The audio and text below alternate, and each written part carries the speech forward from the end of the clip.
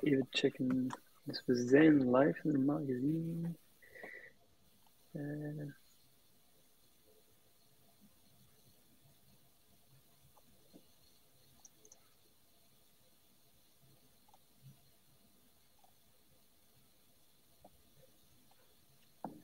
even dubbel checken op de gsm. En... Kan natuurlijk ook zijn dat er niemand denkt, ik wil hier wel iets over horen. Dat kan natuurlijk. we zijn live, dus uh, goed. Alright. Um, ik ga het een minuutje geven, zodat mensen kunnen uh, joinen. Um, ik zie dat het op YouTube correct staat.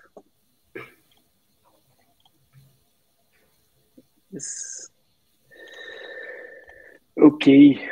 Um, ja, ik zie dat er vijf kijkers zijn. Ik ga de chat erbij nemen.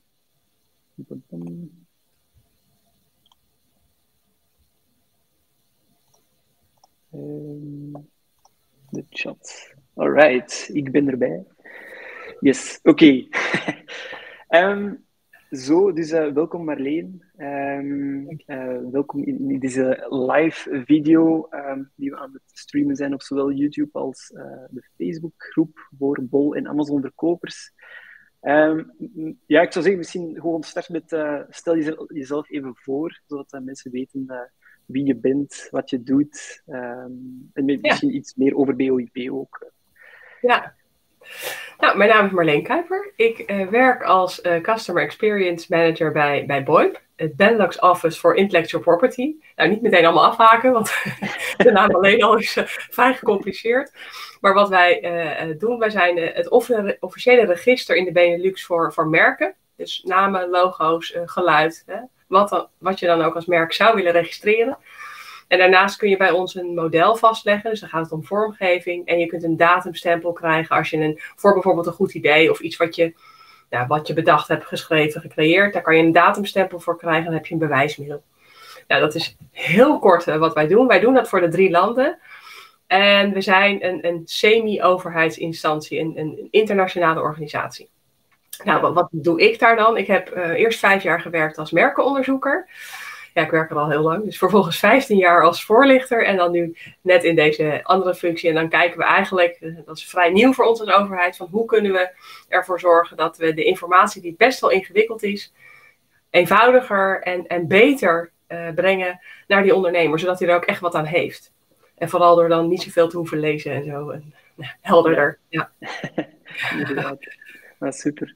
En uh, jullie, worden dus, jullie zijn een, een, een uh, je zei voordat we start, van start gingen, uh, een, een multi-landen overheidsbedrijf dan. Ja. Uh, worden jullie dan ook ondersteund door de verschillende overheden? Of in, nee, nee, dat is een beetje het gekke. Dus dat zie je natuurlijk eigenlijk nooit, maar wij krijgen geen geld.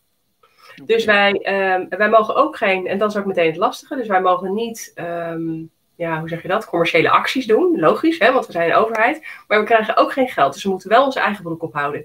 Nou, dat is natuurlijk best een lastig evenwicht. Maar goed, uh, ik denk dat we dat heel goed kunnen, kunnen doen. En, en uh, we zijn inderdaad, uh, we zijn drietalig trouwens ook.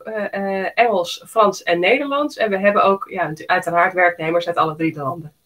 Ja, oké. En, en jullie krijgen geld, maar geven daarbovenop wel subsidies. ja, ja. ja, goed. Die subsidies komen eigenlijk, of die komen uit een Europese pot. En uiteindelijk uh, draagt uh, ieder land daar natuurlijk aan die Europese potten. Nou goed, laten we daar maar niet over nadenken, maar aan bij. En daar is een gedeelte voor, voor vrijgesteld voor, ja, voor dit soort subsidies. Maar waar we het denk ik later nog eventjes over, ja, over hebben. Ja. Nee, uh, ik, ik zou graag willen starten dan eigenlijk echt uh, bij, bij het begin of van nul. Um, voor moesten er uh, kijkers zijn die, die willen starten met verkopen op Bol of Amazon, die nog eigenlijk echt in, in de, de, eerste fase zitten, die nog geen merknaam hebben en, en denken aan een merkregistratie doorlopen. wat houdt een merkregistratie in het algemeen in? Want en dus je had het over merken registreren en ook ontwerpen, octrooien, al dat soort toestanden. Uh, maar ik vermoed wel dat het, uh, we gaan het vandaag dan hebben over merkregistratie specifiek, omdat dat van toepassing is voor ons als verkooppartner. Ja. maar wat houdt een merkregistratie in? Um, wat, wat, betekent ja. dat? Nou, een merkregistratie zelf is eigenlijk alleen maar een aanvraagprocedure. Waarbij je een, een merk gaat aanvragen, dus het, het logo of de naam of de combinatie daarvan, die jij gebruikt op je producten en diensten. En nou, als je via Bol verkoopt, gaat het natuurlijk vaak om, om je producten. Nou, daar plak je een naam op, daar wil je mee uh, bekend worden. En uh, ja, dat is je merk. Alleen ik denk dat heel veel mensen die, uh, die gaan verkopen via Bol eigenlijk helemaal niet zitten te wachten op een merk, maar dat moeten doen. Hè. Het is een soort van noodzakelijk kwaad. Dat is eigenlijk jammer, want je kan heel veel doen met een merk. Je krijgt een monopolie. Dus niemand anders mag nadat je een registratie hebt toegekend gekregen, um, dezelfde soort producten en diensten verkopen onder die naam. En dat is natuurlijk heel prettig. En je kan dan, doordat je die registratie hebt, kan je daar wat tegen doen. Ja. Heb je die registratie niet, wordt dat uh, ja, een stuk ingewikkelder. Ja, oké. Okay. Heel in het kort. En, en tegen wat ben je concreet beschermd? Je hebt het al deels beantwoord, maar zijn er... Ja, het is lastig. Hè? Je bent... Beschermd zijn is het eigenlijk niet. Nee. um, um, je hebt een recht gekregen. Eigenlijk is het heet ook merkrecht, hè? En je hebt het recht om op te treden tegen mensen die misbruik of ja, uh, op een niet zo prettige manier gebruik maken van jouw merk. Het jouw eigendom is. Hè? Want jij, jij hebt dat gekregen doordat je die registratie hebt gedaan. En op het moment dat je de registratie niet hebt gedaan, heb je misschien wel een brand. Maar je hebt het niet juridisch geregistreerd. En je hebt dus niet het merkrecht. En dus ook niet het recht om op te treden tegen een ander. Nou, en dat zie je natuurlijk wel vaak gebeuren. Dat mensen een merk maken wat erop lijkt je ziet uh, makkelijke voorbeelden zijn de supermarktoorlogen. Hè, waarbij uh, producten heel erg op elkaar gaan lijken, namen heel erg op elkaar gaan lijken, logo's. Ja, dat, dat is heel onprettig. Daar kan je heel veel last van hebben. En dat wil je niet. En bovendien, wat natuurlijk uh, minimaal zo belangrijk is, en uiteindelijk nog belangrijker is, alles wat jij doet om jouw naam bekender te maken, alle investeringen die je doet, die zit in, die, in, die, in dat merk. Op het moment dat jij die registratie niet hebt, ja, dan, heb, dan, ja, investeer je eigenlijk in iets wat niet van jou is. Dus ik zeg altijd, het is een hele kromme vergelijking en een jurist gaat denk ik huilen als ik dat zeg, maar als jij in een, een huis huurt en jij verbouwt het en vertimmert dat helemaal mooi. In Nederland is het zo dat als jij dan eruit gaat, dan zegt de verhuurder, ik wil dat je het graag terugbrengt in oude staat. Dus alles wat je erin geïnvesteerd hebt, kan je zo woep, weggooien. Ja. Nou, dat is ook een beetje als je die, ja, die merkregistratie niet hebt. Ja, nee, nee, klopt. Oké. Ik ga ook even tussendoor, uh, dan, zij die al aan het volgen zijn, uh, moest je vragen hebben voor Marleen, concreet over merkregistratie, laat ze achter in de chat. We gaan ze, ja, na... Ik heb hier een lijstje aan vragen voorbereid voor Marleen. Um, we gaan die vragen die jij zou hebben nadien dan overlopen. Um, ja, een volgende vraag die ik had uh, wat is misschien uit jullie ervaring van het BOIP um, ehm, de reden dat marktplatformen zoals Amazon en Bol strenger zijn of aan het toezien op, op merkregistratie? Nou ja, het is, natuurlijk, ja, het is eigenlijk meerledig. Hè? Dus uh, enerzijds omdat um, ja, op het moment dat jij iets doorverkoopt, voel je je natuurlijk ook verantwoordelijk. Hè? Dus het heeft een bepaald gevoel. Jij wil niet dat iemand anders namaakproducten koopt via jou platform. Ehm, ook al kunnen ze daar niet volledig aansprakelijk gesteld voor worden, kunnen, kunnen ze wel gedeeltelijk aansprakelijk gesteld worden in bepaalde gevallen. Dat wil je natuurlijk al helemaal niet. En daarom zijn die platformen ja, daar steeds meer naar gaan kijken. Van hoe kunnen we ervoor zorgen dat die kwaliteit uh, van de spullen die wij op het platform verkopen, zo groot mogelijk blijft. Er zijn natuurlijk hè, er zijn niet zoveel hele grote platformen. Er komen er natuurlijk wel steeds meer, maar je wil je natuurlijk ook op een bepaalde manier nog onderscheiden. Ja, en dat kan zijn door een, een goede kwaliteit aan spullen te bieden die uh, verkocht worden via jouw uh, platform. Ja, oké. En als we dan, dus jullie zijn BOIP, jullie gaan voornamelijk over de, de Benelux-merken, maar doen ook, of zijn in, nauw contact met de EU-IPO, vermoed ik? ja, sowieso. Ja, ja het, het, het um zeg maar het IE-landschap, zo, zoals wij dat noemen. Dus, dus eigenlijk, er zijn natuurlijk meerdere IE-rechten. En IE-rechten, um, daar heb je twee soorten van. Rechten die je moet aanvragen en rechten die je vanzelf hebt. Dus het auteursrecht ontstaat vanzelf. Maar een merk en een octrooi en een model en ook een kwekersrecht moet je officieel aanvragen. Doe je dat niet, dan heb je het recht ook niet. En um, dat is eigenlijk overal net een beetje anders geregeld. Dus voor, voor België is het zo dat je een Benelux-merk hebt. Dus dat is voor België, Nederland en Luxemburg tegelijk. Je kunt natuurlijk ook een Europese aanvragen en er zijn nog meer variaties. Maar voor octrooien geldt dat dat niet voor de hele Benelux geregeld is. Dus je vraagt een Belgisch octrooi aan bij de FOD bijvoorbeeld. Dus dat werkt allemaal net anders. En die rechten zijn ook ja, eh, anders georganiseerd, hebben um, andere voorwaarden. Dus het is echt heel belangrijk om te kijken van wat heb ik eigenlijk en wat voor rechten zouden daar misschien in kunnen zitten. Dus een product gaat het niet alleen om de naam. Het kan ook zijn dat iemand zegt van hé, hey, jij hebt een octrooi, uh, weet ik veel, je verkoopt een product met een namaakoctrooi van mij erin en ik wil dat je daarmee stopt. Dat, dat zou kunnen. Ja, ja, oké. En concreet tussen eh, een Benelux-merk en een Europees merk, eh, ben je dan... Oké, we hadden het eerder al over tegen wat dat je beschermd bent. Gaat het dan puur over hoe uh, geografisch gezien, hoe breed je, je beschermd bent? Of zijn er nog bijkomende zaken waarbij een Europees merk nog, nog extra beschermt dan, dan uh, een, een Benelux-merk? Nee, nee de, de, de, de, de regels zijn hetzelfde. Het gaat daar echt om het geografische gebied. Ja, en dan is het heel erg afhankelijk, hè, want, want veel mensen denken, oh, dan doe ik wel meteen heel Europa in één keer. Maar dat betekent ook dat je um, binnen al die landen kunnen daar conflicten ontstaan. Dus hoe groter de ruimte is, hoe meer conflicten er ook kan ontstaan. Ja. Dus je moet niet zomaar denken, oh, dan heb ik alvast heel Europa. Je moet er echt goed over nadenken of dat echt belangrijk is voor jou. En er is ergens een omslagpunt. Hè? Bij een paar landen kan je op een gegeven moment zeggen van, nou, hè, misschien is dat voor mij wel interessant. Maar je moet dat niet zomaar doen. Nee. Okay. En ook als zeker, sorry, ja, zeker bij een Europese registratie zou ik daar ook een IE-advocaat bij nemen. Want dan wordt, het, dan wordt het echt wel ingewikkelder. Ja, ja. En concreet als we kijken, want uh, dat is eigenlijk ook nog een beetje basis van uh, welke stappen worden doorlopen. Hè? Dus uh, iemand wil een merk registreren, die stuurt zijn formulier in via BOIP, EU-IPO. Um, welke stappen worden precies doorlopen? Wat, er, wat gebeurt er juridisch of fysisch ja. gezien? Um, ja, e-, eigenlijk zouden er voordat iemand het formulier invult al een paar stappen genomen moeten zijn. Maar we zien vaak dat omdat juist iemand eigenlijk helemaal niet zit te wachten op een merk, maar wil verkopen, dat hij zo snel mogelijk dat formulier invult. En dan mis je eigenlijk een aantal essentiële stappen. De eerste stap is uh, checken of het merk al bestaat. Dus gewoon in het officiële Benelux-register kijken welke merken zijn er geldig in de Benelux. Dat is alvast een hele belangrijke. En daar staan dus ook alle Europese merken in. En ook internationale merken die geldig zijn in ons, in het Benelux-grondgebied, zeg maar. Dus dat is wel een belangrijke. Daarnaast uh, moet je weten wat je gaat verkopen. Heel veel mensen weten dat eigenlijk niet echt. Hè? Die, die hebben wel een beetje een grof idee, maar eigenlijk niet echt. En op het moment dat je die aanvraag gaat doen, gaan wij heel specifiek aan je vragen waarvoor ga je dit merk gebruiken? Ja, dat is soms nog best ingewikkeld, want ja, waarom wel en waarom niet? En eh, ten derde moet je merk onderscheidend zijn. Van oudsher is een, een merk een onderscheidingsteken. Dat begon ooit met, met het brandmerken van de koeien. En eigenlijk is het niet heel erg veranderd. Het is nog steeds het brandmerken van je producten. Maar dan moet het wel onderscheidend zijn.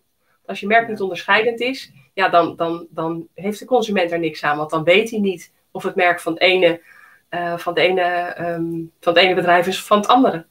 Dus dat is een voorwaarde. En dat, dat, die voorwaarde is ingewikkeld. En dat is ook de reden waarom we ja, dat, dat zo duidelijk naar voren willen brengen. Dat, dat, um, dat zie je vaak misgaan bij mensen die willen verkopen. Die hebben eigenlijk een beschrijvende naam. Voor je branding begrijpelijk. Maar als merk is dat niet, niet goed genoeg. En dan moet je er bijvoorbeeld een onderscheidend logo bij hebben. En dat is een ingewikkeld iets. Dus ik zou altijd aanraden, hè, dus voordat je überhaupt dat formulier gaat invullen, moet je die dingen bekijken. En je kunt ook, uh, ja, je kunt ons gewoon bellen als je denkt, ik weet eigenlijk helemaal niet hoe dit zit. Of je kan een online spreker doen. Je kunt webinars volgen om een beter beeld te krijgen van wat bedoelen die mensen daar eigenlijk mee. Ja, Want het is ja. hartstikke zonde. Als je namelijk op die knop hebt gedrukt en je betaalt, dan gaat dus de procedure starten. En daar zal ik zo even ja, op ingaan. Maar als je merkt dan, ja, als het dan misgaat, dan ben je je geld kwijt. Ja. En dat is gewoon hartstikke zonde.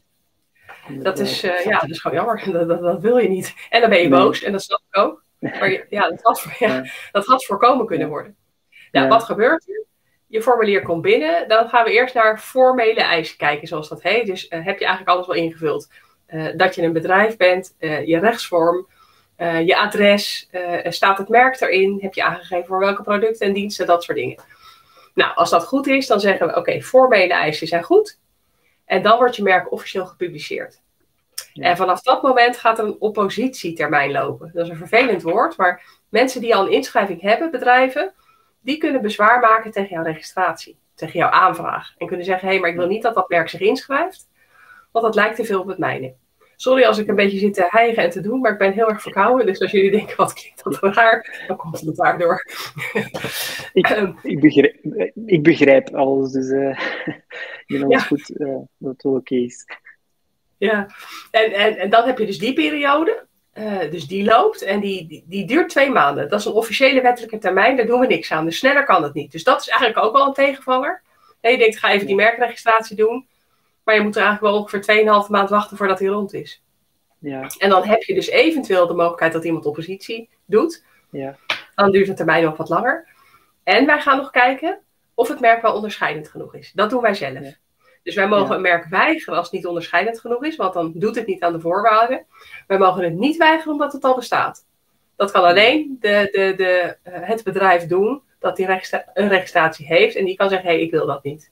Ja, en om, om even in te pikken op die oppositie.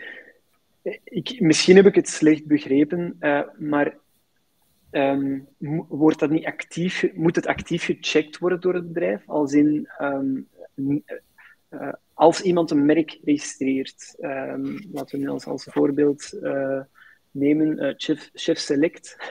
um, dus ik heb Chef Select uh, ge, geregistreerd um, vijf jaar geleden. en nu wil er iemand alsnog Chef Select registreren. De procedure wordt aangevraagd, wordt gepubliceerd. Word ik op de hoogte gehouden dat, dat, dat iemand dezelfde naam gaat Nee, niet automatisch. Nee. nee. Je, je moet dus eigenlijk aangesloten zijn bij een, een dienst of, of iets die dat ja. een juridische. Ja, dus, er zijn een paar mogelijkheden. Dus ofwel je, je checkt het iedere maand zelf. Ja. Uh, nu zou je dat waarschijnlijk de eerste maand doen en de tweede en misschien nog de derde. En dan worden het twee maanden later, vier maanden en dan vergeet je het. Dus ja, dat is niet zo handig. Je kunt een trademark alert afsluiten. Dus dan houden wij je automatisch op de hoogte. Um, ik, ik moet eerlijk zeggen dat ik niet precies uit mijn hoofd weet hoeveel dat kost, maar ik dacht dat het ongeveer 60 euro per jaar was.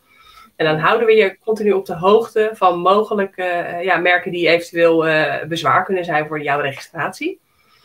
Ja. Je kan het ook als jij een extern iemand, zo noemen we dat, hè, dus iemand die niet, dus niet iemand die ons is, maar een tussenpersoon tussen, tussen jou en mij.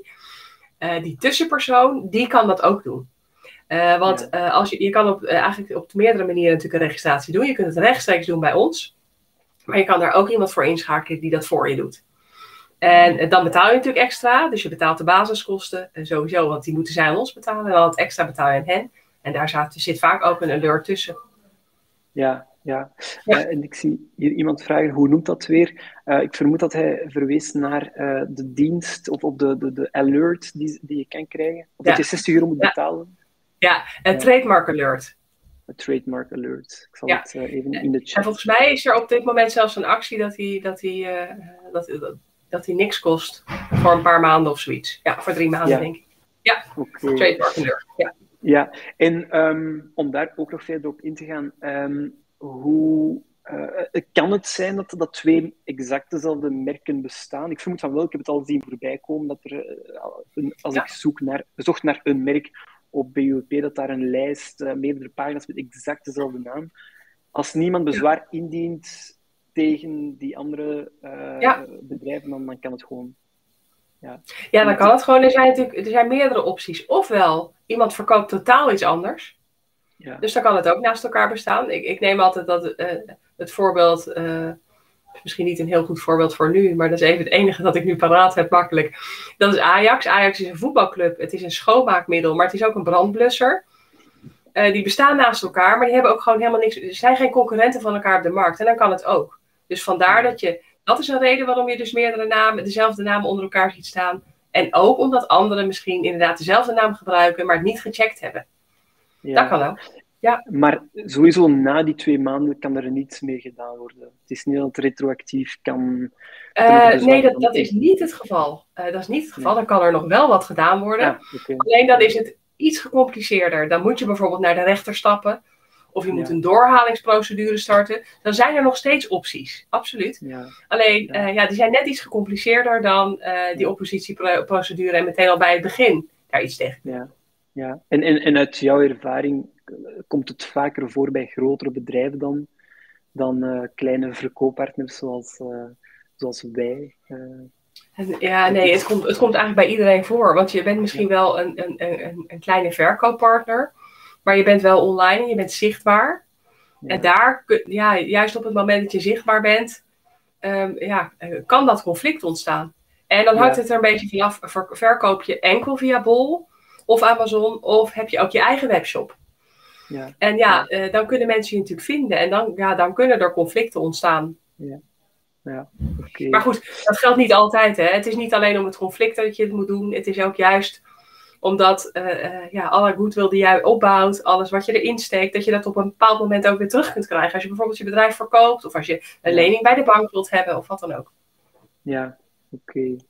Uh, dan wil ik het even hebben over een woordmerk versus een beeldmerk. Um, ik heb mijn intuïtie zegt dat een beeldmerk uh, gemakkelijker beschermd wordt. Als in, je gaat minder snel de, het, het, de, de, beslissing krijgen van een merkenregister dat het te beschrijvend is, omdat het ja, parallel gaat met een woord en een beeldmerk eigenlijk. Wat, wat is jouw advies daarin? Of, of wat, ja, wat zie jij daarin voorbij komen? Ja, je ziet natuurlijk steeds meer, steeds meer beeldmerken. Excuus. Um, um, kijk, je kunt een woordmerk, je kunt een merk überhaupt alleen registreren als het onderscheidend is. Ja. Dus als je, het zijn een soort van communicerende vaten. Dus als jij een onderscheidend woord hebt, dan mag je een niet onderscheidend beeld hebben. Dan, hè, als je dan een cirkeltje eromheen doet of een streepje eronder, een beetje gestileerd, is dat al meer, is dat, al, is dat ruim genoeg. Maar op het moment dat jij een niet onderscheidend woord he, hebt, dan moet je beeld wel onderscheidend zijn. Want je kunt ook een beschrijvend beeld hebben dus als jij een, een, een of andere pesticide eh, tegen mieren of zo verkoopt. En jij hebt daar een, een, een beeld van een, een uh, echt van een mier, van, zoals een mier eruit ziet, dan, dan wordt het merk ook geweigerd. Als het uh, ook een woord beschrijvend is. Dus ja, dat is nog best een gecompliceerd iets. Je moet daar, je moet daar heel goed uh, op letten. Dus het is niet zo van, oh, dit is beschrijvend, dat woord. Dat geeft direct aan wat ik aan het doen ben. Dat omschrijft mijn product of mijn dienst. Want ik zie daar een vraag van Dutch Mike, wat zijn de voorwaarden om onderscheidend te zijn? Um, um, het mag dus niet rechtstreeks je product beschrijven. Het mag ook geen aanprijzing zijn of zo, want dat, dat is ook niet een merk. Uh, um, het mag niet een vlag of embleem of wat dan ook van een, van een, van een land bevatten. En dat mag je niet registreren. Er zitten gewoon best wel wat dingetjes in die, ja, die het wat lastig maken. en ja, je kijkt dus altijd naar die combinatie. En, en, dat wat je gebruikt, dat wat jij op je product plakt, dat is je merk. Ja. En, ehm, en dat is ook weer Bol naar kijkt. Ja, ja klopt. Maar dus het, het, kan, het kan dus wel dat een, een, uh, dat een merk, moest het als woordmerk geregistreerd worden, um, uh, dat, dat het als, moest het dan registreren als beeldmerk, uh, dat het niet beschrijvend is, terwijl het wel beschrijvend zou zijn, moest het alleen als woordmerk uh, Ja, en weet je wat het is? Uh, eigenlijk zijn die, um, wat voor soort merk het is, maakt eigenlijk helemaal niks uit. Dat zijn manieren omdat wij, je moet in een register moeten dingen vindbaar kunnen zijn. Daarvoor moet het allemaal in categorieën, moet het ingedeeld worden, anders kun je het niet vindbaar maken. Dus het maakt eigenlijk niet uit of het een woord of een beeldmerk is. Je merk is dat wat je hebt. Ja. En uh, als jij daar beeldelementen in hebt, dan is het een beeldmerk. Maar dat feit op zich maakt niet uit. Hè? Het merk is dat wat je, wat je daadwerkelijk waarneemt. Ja, of hoort. Ja. Of dat is je merk. Ja, ja oké. Okay. Um, ehm, ja, dit is iets dat ik zelf ook heb meegemaakt. Um, komt soms voor dat een grafisch element um, in, een, in een beeldmerk wordt gezien als een letter of herkend als een letter, ondanks dat, dat je het zelf hebt aangegeven van kijk, dit is mijn woordmerk en hier mijn beeldmerk, mijn logo, mijn, uh, mijn digitaal bestand.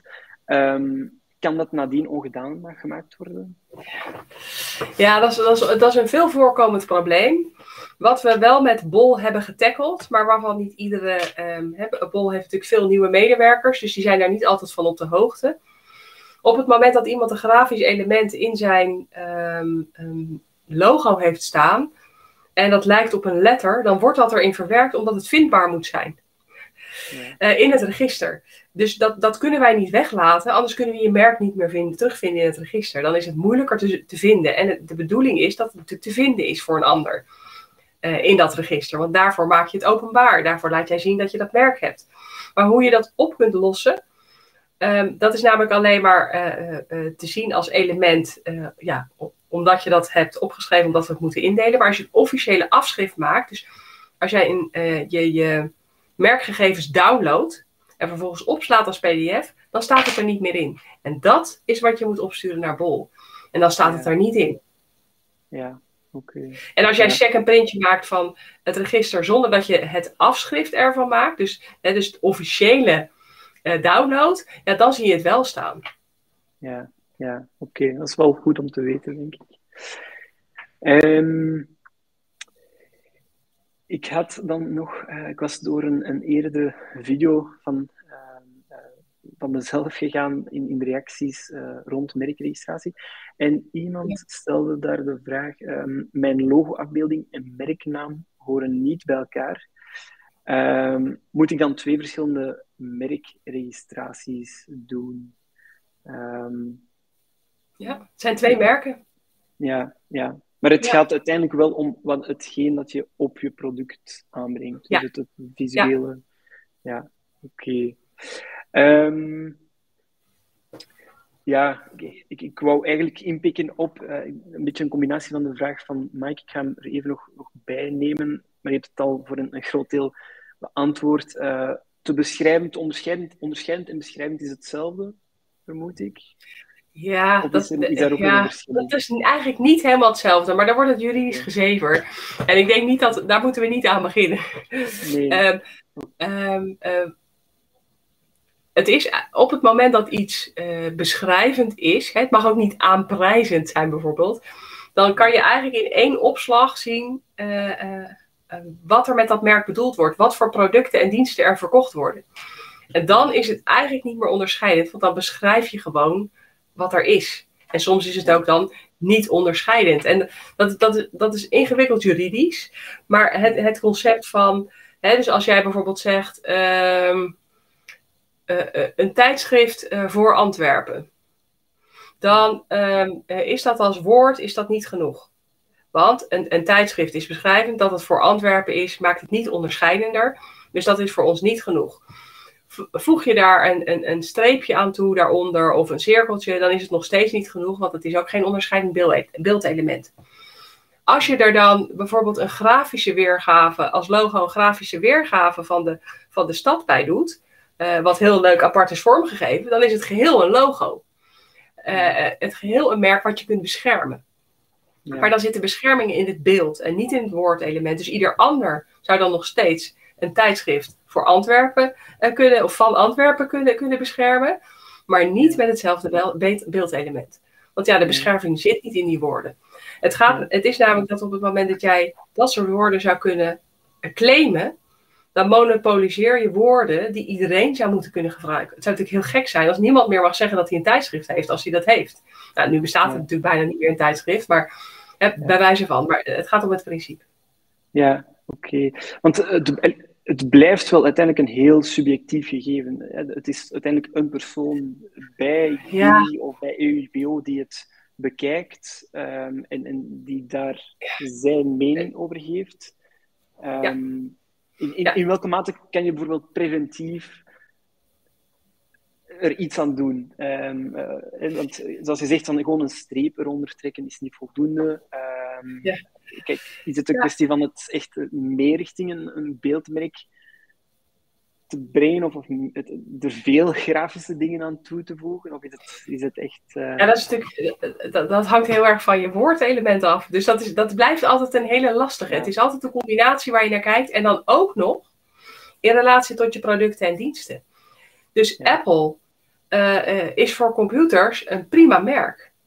Ja. Hè, maar, maar iets wat um, nou goed, met appels te maken heeft. Niet als het om appelsap zou gaan of, of appeltaart, nee. dan, wordt het al, dan wordt het toch een stuk minder goed merk. Dus daar kijken we ook altijd nog naar. Dus er wordt wel degelijk. het woordelement van het merk, of het nu een, woordmerk of een beeldmerk is, wordt echt wel naast de klasses gelegd dan. Ja, ja absoluut. En kan het daar een rol spelen in welke termen je aanduidt binnen een klasse? Want binnen een klasse kan je duizend en één termen gaan, gaan toevoegen. Je kan ze allemaal toevoegen. Je kan enkel de termen gaan toevoegen die, die relevant zijn voor jouw product of, of de producten die je plant verkopen. Is het een, een, een truc om daar uh, termen te gaan toevoegen die, die dan zo min mogelijk een, uh, een link hebben met de naam, maar die toch jezelf in een zekere zin beschermen? Ja, maar, maar dan ben je een truc aan het uithalen om een truc aan het uit te, uit te halen. ja, eh, ja, je, je gaat iets verkopen en dat ga je verkopen. Ja, en uh, dan zal je daar die registratie voor moeten doen. Maar die klassificatie is ingewikkeld, want uh, Bol en Amazon hebben andere categorieën dan wij hebben. En de categorieën die wij gebruiken, dat is een internationaal erkende indeling van alles wat je kan bedenken. Alle producten en diensten die je kan bedenken zitten in die enorme brei aan, aan gegevens. En ehm, ja, dat, dat, dat is uh, wereldwijd. Hè? Dus die klassificatie wordt, wordt ongeveer door iedereen gebruikt. Um, dus ja, daar kunnen wij niet zomaar van afwijken. En um, een voorbeeld is bijvoorbeeld elektrische apparaten. Dat is een categorie bij Bol. elektrische apparaten, die vallen uh, bij ons, kunnen die in meerdere categorieën vallen dus ja, goed, ik weet niet even niet uit mijn hoofd welke, uh, welk apparaat in de ene en de andere categorie valt. Maar bij wijze van spreken vallen stofzuigers in een andere categorie dan koelkasten. Ik zeg maar even wat. Ja, En uh, ja, dan heb je dus een issue. Want mensen willen, moeten elektrische apparaten erin hebben. En wat wij dan doen is bijvoorbeeld, uh, dan zeggen wij tegen mensen, zeg, zeg dan bijvoorbeeld elektrische apparaten waaronder. En dan geef je aan om welke het gaat. En dan zorgen wij er wel voor dat het uiteindelijk in die goede categorie terechtkomt. En ook daarvoor, die categorie is eigenlijk helemaal niet belangrijk. Het gaat om de term. Ook die categorieën zijn weer bedoeld om te kunnen zoeken. Ja, ja, oké. Ehm, maar dus voor die klassen, ehm, is het belangrijk dan dat je de, de correcte termen selecteert onder de klassen? Of maakt dat op zich niet uit? Je bent beschermd voor de klassen of je bent beschermd voor de termen? Nee, je bent niet beschermd voor de klassen, je bent beschermd voor de termen. De termen zijn eigenlijk de producten. En uh, iedere klasse is best wel verschillend. Hè? Die klasse kleding, die is eigenlijk heel makkelijk. Dat is de makkelijkste klasse die je hebt. Maar je hebt andere klassen waar hele verschillende uh, producten onder vallen. Dus dan kan je niet zeggen, oh, ik heb de standaardklasse, daar valt alles onder. Nee, als het op een zaak aankomt, moeten de termen erin staan. Wat niet betekent dat als jij uh, bij wijze van spreken stofzuigers verkoopt, uh, uh, dat jij uh, zwarte stofzuiger, bruine stofzuiger, zuiger om stof op te zuigen of allerlei varianten daarvan allemaal moet aankruisen. Nee, dat hoeft ook niet. Nee, okay. um, Dus ja, het, het is, um, want te veel aankruisen, ja, daar kan je ook last van hebben. Want uiteindelijk um, heb je met een merk ook de verplichting die op een bepaald moment te gebruiken. Dus als jij zoveel mogelijk aankruist in heel veel categorieën, dan heb jij de verplichting om die binnen vijf jaar ook te gaan verkopen. Anders kan een ander zeggen, ja, maar die meneer die verkoopt dat niet. Dus dat merk moet je schrappen daarvoor. Ja. Een, hele, een heel merk kan geschrapt worden door één term die je daarin... Nee, dat hoeft niet het hele merk geschrapt te worden, maar wel die specifieke term, uh, omdat dat product dan niet verkocht wordt. En dat is niet iets wat honderdduizend keer voorkomt, maar als je in een concurrerende, uh, ja, concurreert ten opzichte van elkaar, kan dat natuurlijk absoluut wel gebeuren. Ja. ik zie nog de vraag van hoe doen wij dan de research? Ja, er is, um, in Europa is er, uh, ontzettend veel overleg over dit onderwerp. Echt heel veel uh, overleg. Dus we hebben de jurisprudentie, dus hè, welke zaken zijn er allemaal geweest. We hebben natuurlijk alle, uh, alles over de loop van de jaren wat we zelf geweigerd hebben. Want het kan best wel eens zijn dat iets wat nu nog heel origineel is, dat straks niet meer is. Dus ooit was internet een term die niemand nog kende, was het een merk.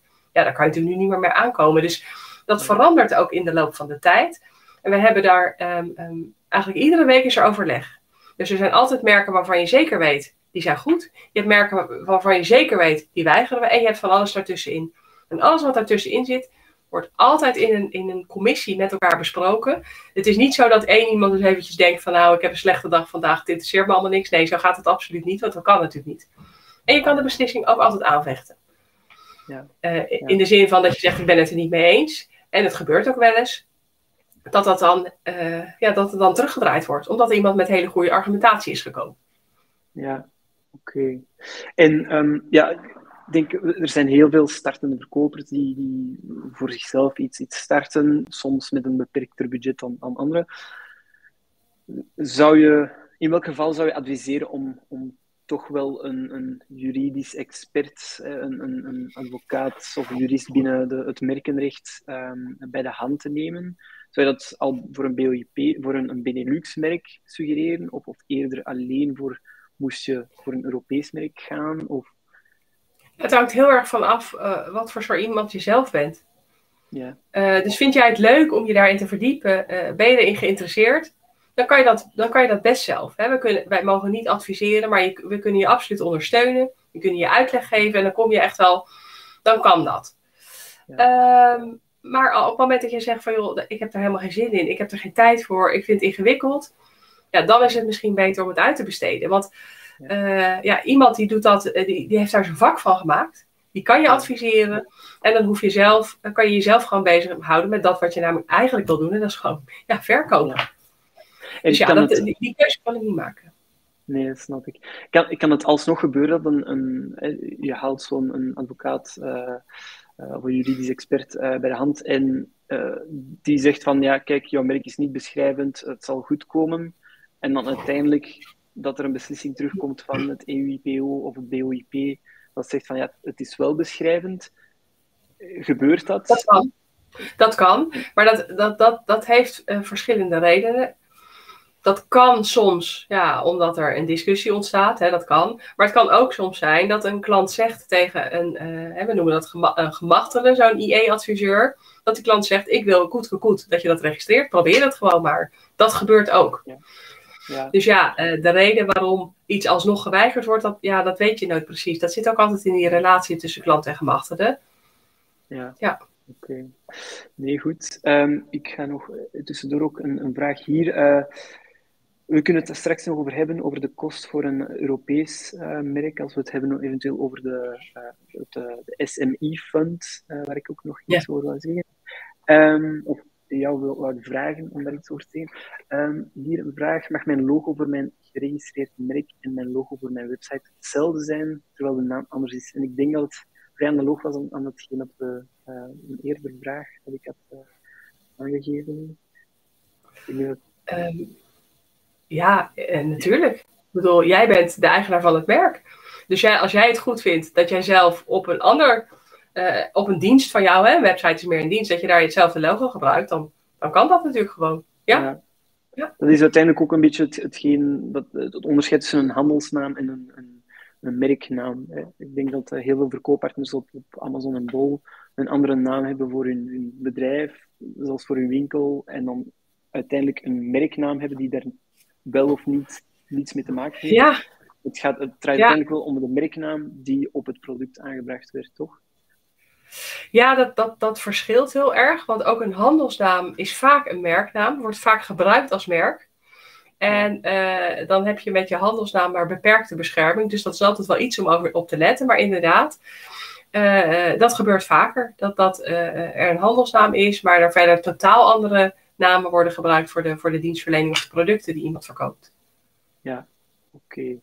Ehm, ja, bij het, het aanvragen uh, van een, een merk ga je bepaalde klassen moeten gaan aanduiden uh, onder welke productklassen je, je merk uh, of, of, je producten wil gaan verkopen met dat merk. Um, ik weet het antwoord op de vraag, ik zal het toch aan, jou, stellen. Um, kan je na het registreren van een merk nog klassen gaan toevoegen aan je merkregistratie? Nee, helaas kan dat niet.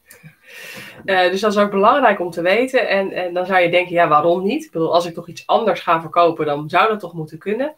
En dat komt omdat je het merkenregister geeft een, een bepaalde status weer. Dus als jij bijvoorbeeld nu, um, um, je hebt een merk geregistreerd, hè, dat heb je al uh, drie jaar geleden gedaan. Stel dat je daar nu een klasse aan toevoegt.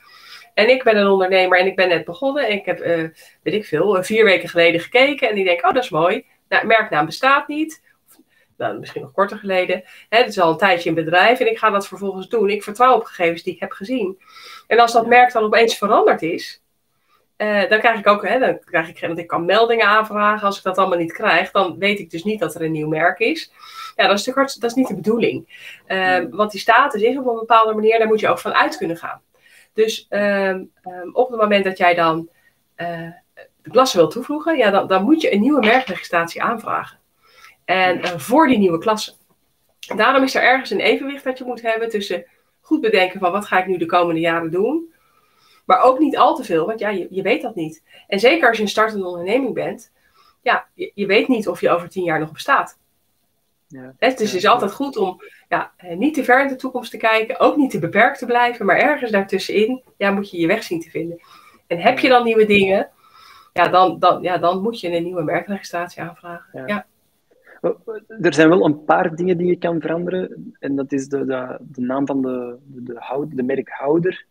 Ehm, en en nog, nog zaken die kunnen veranderd worden? Ja, je kan uh, inderdaad, je kan bijvoorbeeld je merk overdragen aan een ander. Dus uh, als je het bijvoorbeeld verkoopt of als je uh, um, ja, een partner krijgt en je gaat samen dingen, dingen doen. Dus dat, dat kan sowieso.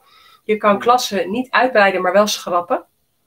Okay. dus je kan zeggen, ik, ik verkoop bijvoorbeeld een deel van mijn bedrijf of ik stoot een deel van mijn producten af, dat ga ik niet meer doen. Dus ik, die klasse wil ik schrappen. Dat zie je ook wel eens in een conflict gebeuren als twee bedrijven met elkaar in conflict komen, dan schrapt iemand de, de bezwarende klasse.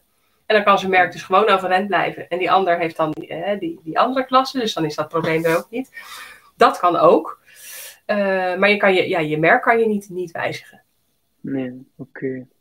Een, uh, een veelbesproken topic. Uh, um, in, in de, de Facebookgroepen, de communities uh, voor verkopers op Bol en Amazon, of Bol voornamelijk dan. Um, de vraag of het al dan niet de moeite is om een spoedregistratie aan te vragen. Nee, ik zou zeggen nee. Nee, nee dat is echt de moeite niet. ja, tenzij je weet dat er een conflict aan zit te komen, maar... Um, um, wat wij namelijk doen, dan krijg je wel direct een registratienummer. En dat kan je misschien even redden, want dan heb je meteen al die officiële registratie. En dan kan je gaan verkopen, maar dat kan teruggedraaid worden. Ja. Want uh, de oppositietermijn vindt dan na de registratie plaats. En dat geldt, hetzelfde geldt voor, kijk, ben je wel onderscheidend genoeg of niet? Dus kan het alsnog die registratie teruggedraaid worden. Dus eigenlijk zien we dat alleen maar gebeuren als er een conflict, uh, als, als er een conflict dreigt. Of als iemand heel snel, uh, ja, die weet al van ik ben, ik ben hartstikke uniek.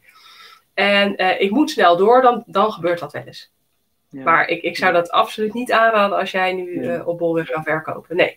Het enige is dat je dus moet weten dat het dus een paar maanden duurt. Hè? Dus dat je wel 2,5 maand zeker bezig bent. Ja, dat moet je even incalculeren. En ja. um, wanneer wij eigenlijk voor het eerst erachter kwamen dat dat een issue was, was, was ja, in de COVID-tijd. Want het, opeens rond augustus, september, um, um, nou met name eigenlijk meer eind september, begonnen een heleboel mensen wilden toen hun merk gaan registreren. En die zeiden, ja, we verkopen via bol.com.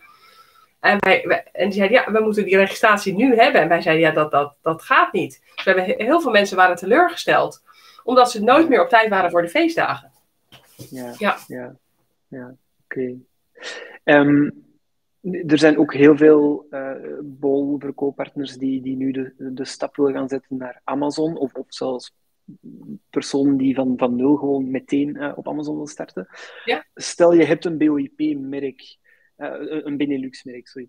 Um, en uh, ja, je wilt of je moet het eigenlijk breder gaan beschermen, zodat je via Brand Registry, het, het, het merkregistratieplatform voor Amazon dan, um, wil je breed genoeg beschermd zijn, kan je een soort van upgrade um, door, doorlopen vanuit je Benelux-merk, of moet je echt van nul starten en, en volledig een, een, nieuw merk gaan registreren? Nee, nee er, zijn, er zijn verschillende mogelijkheden eigenlijk. En die zijn weer afhankelijk van wat je uiteindelijk waar je wilt gaan verkopen.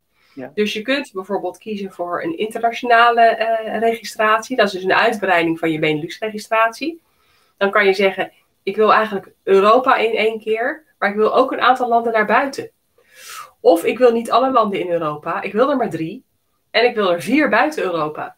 En die kan je via een internationale registratie kan je dat aantekenen. En op het moment dat je dat dan binnen een half jaar doet naar je oorspronkelijke aanvraag in de Benelux, krijg je dezelfde datum uh, van bescherming. Dus dat, dat zijn opties. Doe je dat wat later, dan krijg je niet dezelfde datum, maar kan je nog steeds kan je dat op die manier doen. Je kan ook zeggen, ja, ik wil dat niet zo. Ik vraag rechtstreeks een, een uh, bescherming aan, uh, of een registratie aan via, via EU-IPO. Want ik wil heel Europa in één keer en ik wil dat op die manier doen. Als betaal je nog een kleine fee voor het internationale deel, kan je dat prima doen. Dan heb je voor de Benelux ja, een soort van dubbele registratie. Maar goed, dat is ook het land waar je begon, of het zijn de landen waar je begon. Dus dat is helemaal prima. Dat, dat kan je ook doen. Want concreet, hoe, hoe zit het dan met de kosten? Ik zie hier ook de, de vraag van hoeveel kost een merkregistratie. Dus uh, ik weet, en je moet mij verbeteren als ik fout zit, uh, maar dus voor uh, eh, BOIP of een Benelux-merk start je aan 240 euro voor één productklasse.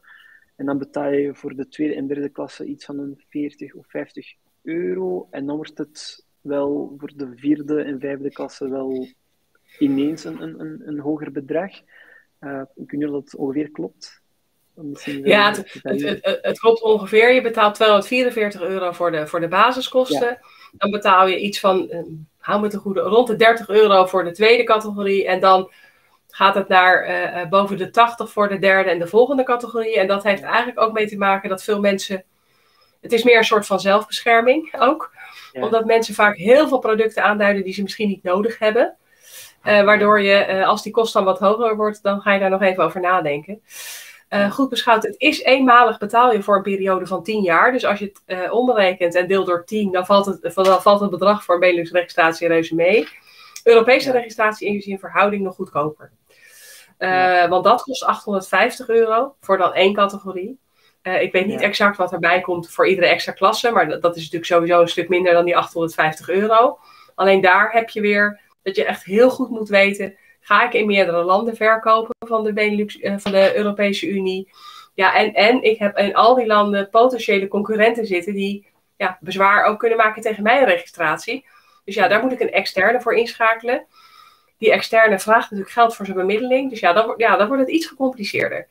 Maar goed, uh, op het moment dat jij natuurlijk in Europa gaat verkopen, ja, dan heb je gewoon een, eh, een Europees merk nodig, punt. En voor de, de, de overheid, want de, je zei van er is een mogelijkheid om van een, een Benelux-merk naar, uit te breiden naar EU-IPO. Eh, e Hoeveel betaal je dan? Dat is dan niet die 850 euro? Of is het wel sowieso? Ja, dat zijn altijd kosten die je sowieso betaalt. Maar daar zit er nog een, een, een kleine fee tussen, omdat je dat via de internationale organisatie doet. En dat, nou goed, dat is niet veel. Dat is misschien een, dat is weer in Zwitserse franken. Maar goed, dat is omgerekend, uh, omgerekend een euro of 80, dacht ik. Dus als je, ja, ja het hangt ontzettend af van je strategie. Dat is het eigenlijk. Er zijn zo ontzettend veel mogelijkheden om dat te doen. Maar heel veel uh, ondernemers vragen dan gewoon rechtstreeks een, een merk in Europa aan. dus die doen die eigenlijk de registratie opnieuw. Die kijken gewoon van, oké, wat heb ik in de Benelux gedaan? En dat ga ik in Europa aanvragen. En misschien met wat nieuws erbij, omdat ik inmiddels weet dat ik nog extra dingen ga verkopen. Ja, ja, oké. Ik weet niet of ik al uh, iets over het fonds mag vertellen, of moet ik dat nog maar even achterwege laten? Nog heel even, uh, dus om de vraag van Younes dan uh, te beantwoorden. Dus je, je zei het er net, uh, het, is, het is geen jaarlijks kost, maar een eenmalige kost, maar dan wel geldig voor tien jaar. Ja. Um, eventueel ja, veranderingen aan merkhouder kost dan wel iets van een 50 euro, denk ik, van, als administratieve Ja, je betaalt, wat, ja, klopt. Maar niet voor een adreswijziging bijvoorbeeld. Het kan ook zijn dat gewoon je adreswijziging, je adreswijziging, dat kost bijvoorbeeld niks maar dat zijn kleine, die wijzigingen, dat zijn kleine kosten. Wel belangrijk om te doen overigens, want uh, anders dan, ja, dan kloppen je gegevens gewoon niet meer. Ja, ja, klopt. Um, dan wou ik het nog hebben over. Uh,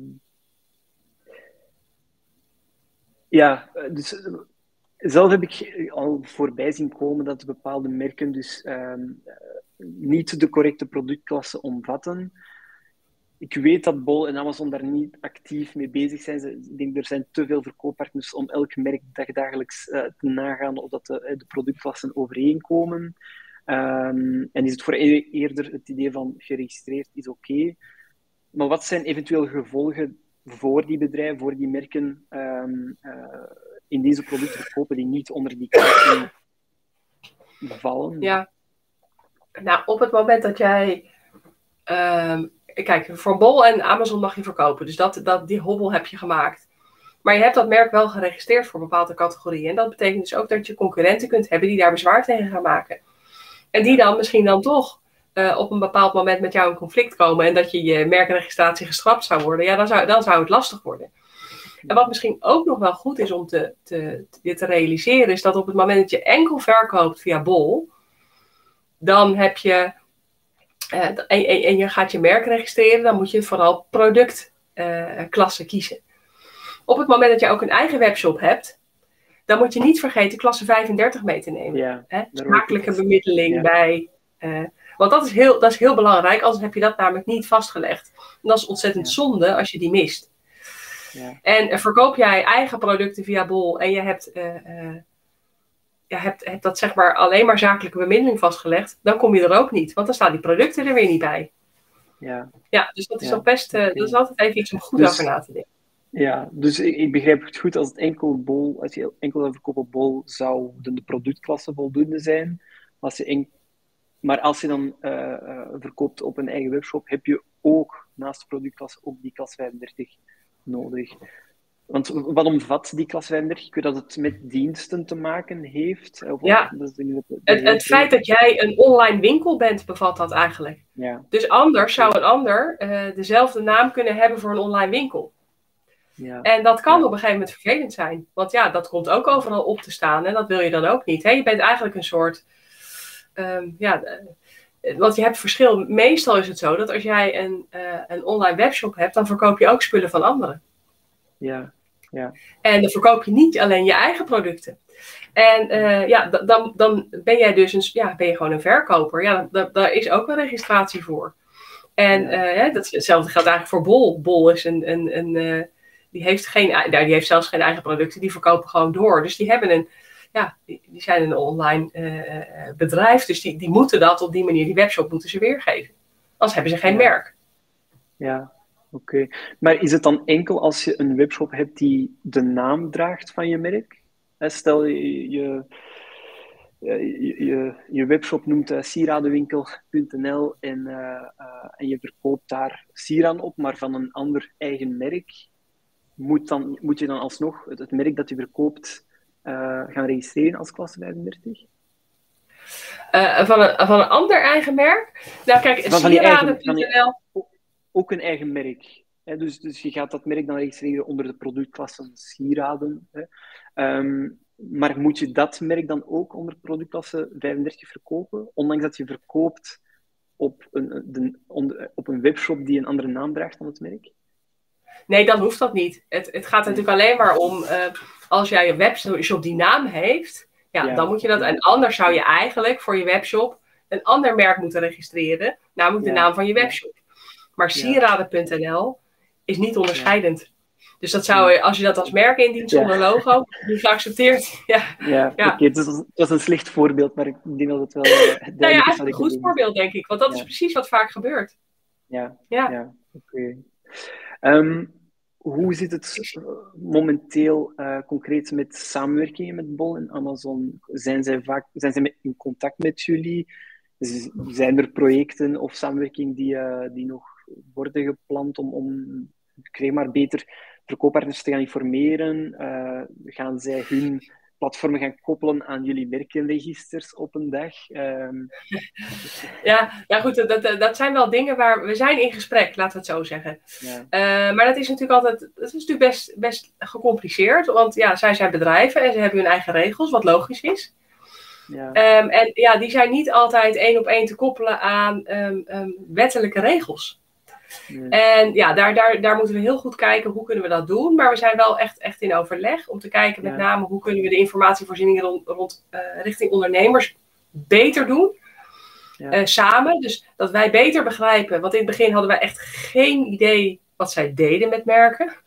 En ja, we kwamen een beetje uit de lucht vallen. Uh, inmiddels weten we dat natuurlijk wel en hebben we een veel beter beeld. En proberen we ondernemers ook op voorhand beter daarover te informeren. We gaan ook ja. op onze website dat, dat nu nog beter doen. Bijvoorbeeld over de klassen. Ik zie daar ook nog een vraag over van Mike trouwens.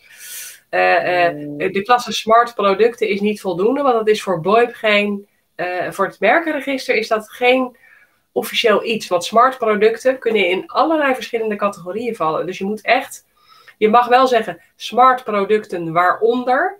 En dan moet je de, de producten noemen, in ieder geval die je gaat verkopen. En dan kunnen wij kijken, oh, dit gaat om een, weet ik, ja goed, ik kan even geen smart product verzinnen, weet ik veel, een smart bell, oh, die moet in die categorie.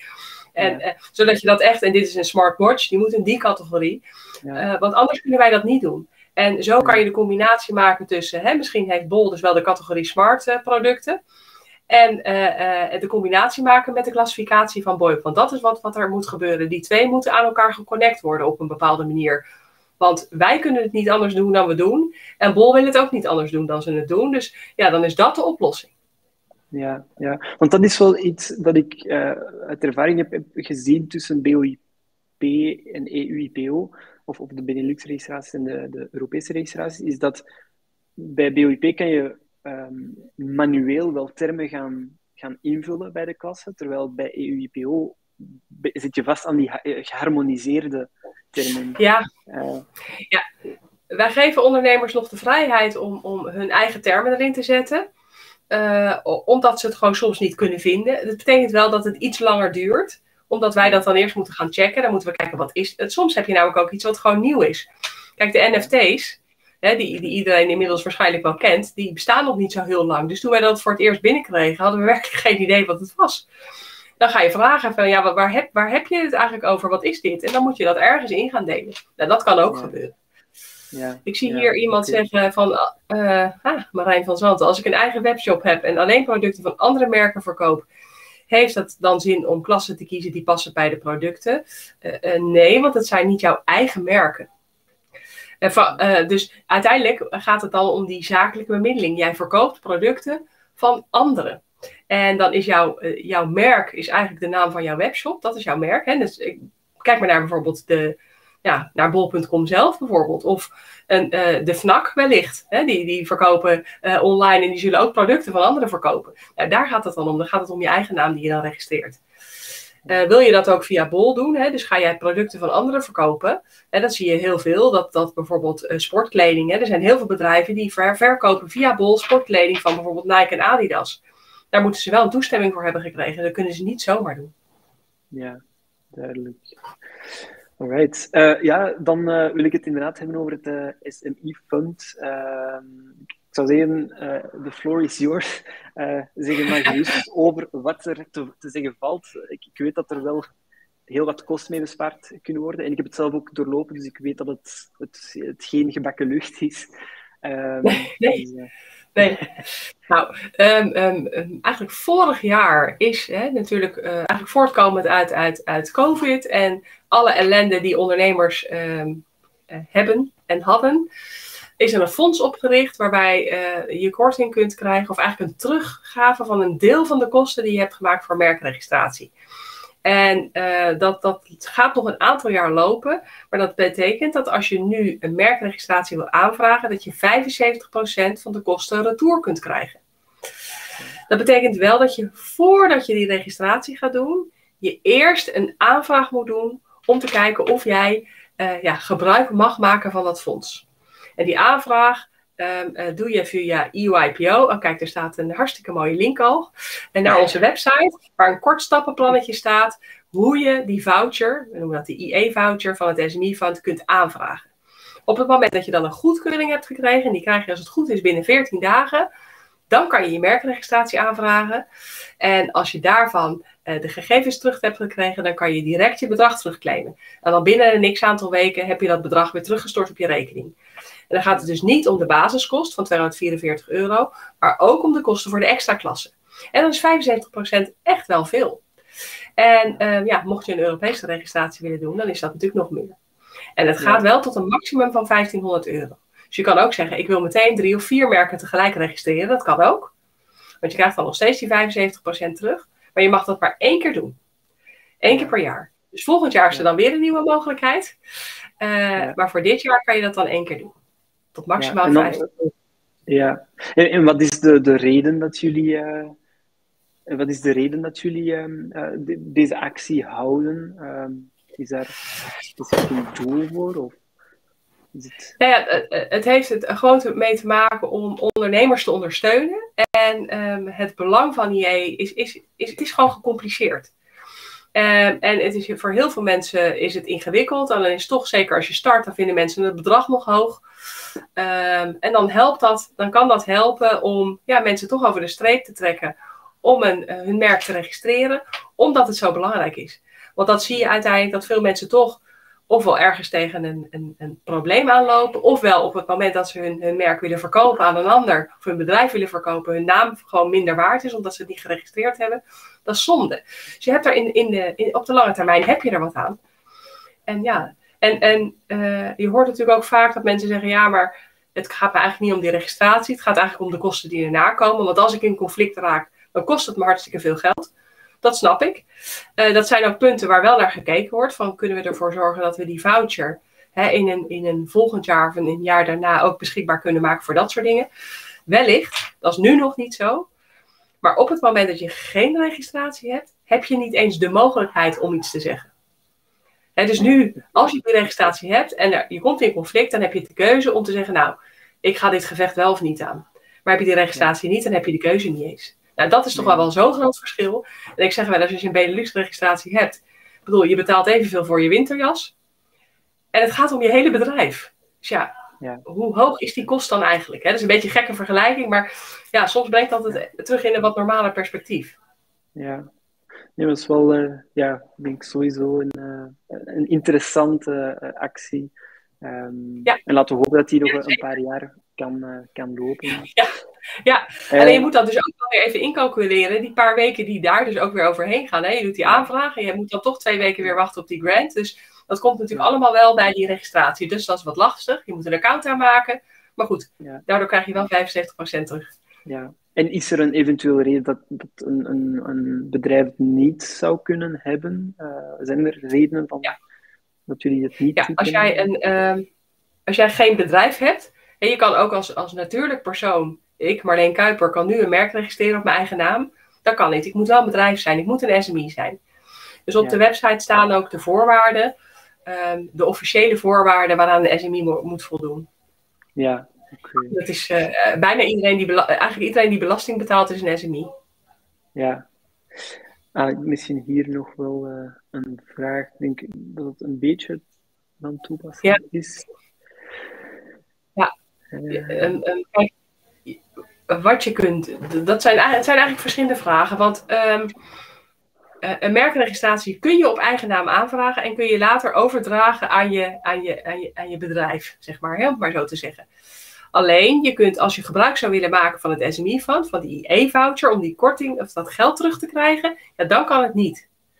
Ja. Want dan, ja, dan ben je gewoon geen, dan heb je geen bedrijf, dus ja, dan, dan krijg je die, die teruggave niet. Maar je kunt wel eerst op eigen naam iets aanvragen en straks overdragen aan je bedrijf. Dat kan wel.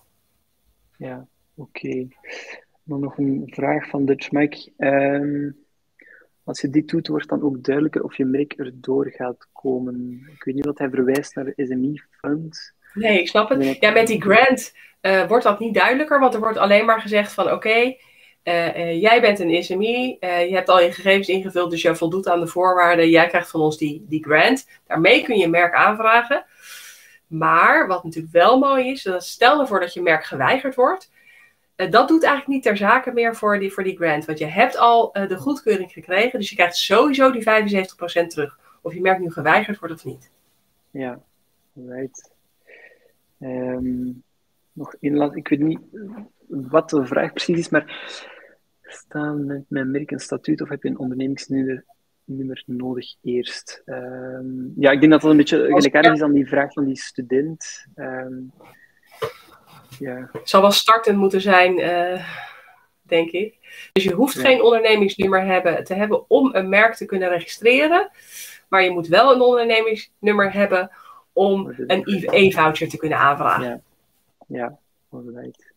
Nee, goed. Uh, ik denk uh, dat we heel veel hebben geleerd. Um, kunnen mensen met jou rechtstreeks contact hebben? Uh, of is het, is het, verwijzen we ze door naar um, de, de contactpagina op BOIP? Um, nou ja, ze kunnen. Komen?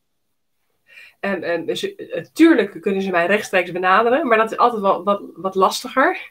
Ja. Ik heb collega's die in het informatiecentrum zitten, die, die daar, die, dat is gewoon elke werkdag tussen half negen en vijf sowieso bereikbaar. Uh, dat heeft ook een e-mailadres. Ehm, het, het, telefoonnummer vanuit België. Oh, dat, moet ik, dat zou ik toch even niet meer uit mijn hoofd weten. Want we hebben een speciaal nummer vanuit België. Dat is toch heel erg dat, ik, dat mij dat nu volledig. Het is nu gewoon blanco in mijn hoofd, maar ik kan het wel even opzoeken. Dat is natuurlijk net zo makkelijk.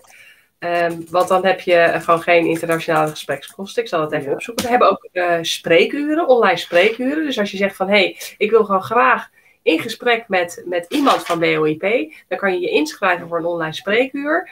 En dan is er een collega die al je vragen kan beantwoorden over, um, ja, over merkregistratie of nou goed, over wat dan ook van IE. Ja. Ga ik even kijken. Vanuit België is het 078 052 242.